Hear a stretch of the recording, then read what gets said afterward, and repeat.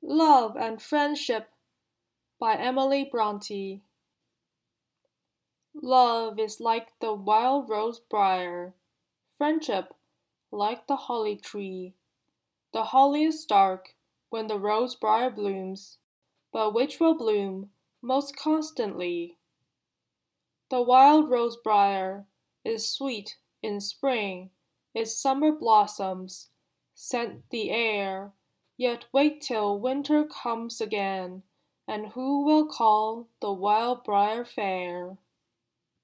Then scorn the silly rose wreath now, and deck thee with the holly's sheen, that when December blights thy brow, he still may leave thy garland green.